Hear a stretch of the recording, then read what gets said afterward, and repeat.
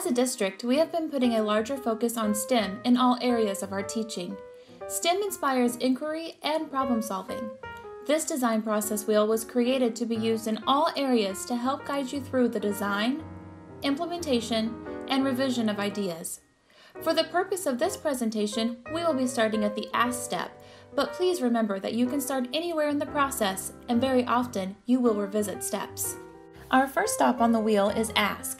This is where you ask a question that creates curiosity or identifies a problem that needs to be solved. Next, we come to Imagine. Imagining is brainstorming ideas and thinking about all the possible solutions to your problem. When you get to this step, it is a perfect time to start jotting things down or talking as a group. Throw out any ideas that come to mind, even the silliest may work. After Imagine is Plan. Once you have thought up some ideas, pick one and plan it out. This is just like planning out a paper before writing it. It will give you a guide as you go along, and you might come across some potential problems before you start. Try using paper and pencil to plan how to achieve your goal.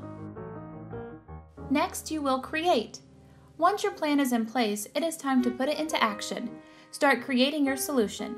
If you are working with a group of people, it is a perfect time to practice teamwork. Once you have created your solution, it is time to try it out. Just like an experiment, you have to see if it will work. This step may require some trial and error. You may have to go back to another step and rethink some things. Evaluating is next. Evaluating is a step you will probably do throughout the entire design process. As you try new things, you will evaluate to see if it worked. If it didn't work, try to figure out why and what you could do to change that. Remember, you might be going back to other steps during this whole process. Once things are finished, you will communicate with your audience.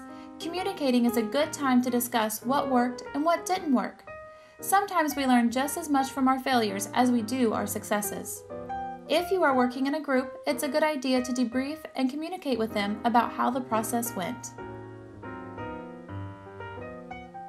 This design process was created to be used in various settings, from the classroom to the boardroom.